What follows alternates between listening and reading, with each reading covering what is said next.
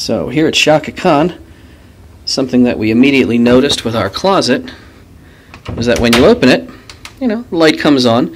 You may have seen that sort of thing in closets in a lot of hotels. But interestingly enough, it didn't seem to be motion based. It was a very specific position on the door. So it's a it's a door open sensor. You don't see that too typically. And when I checked the door frame, I was kind of surprised. I couldn't see a plunger or anything of the sort.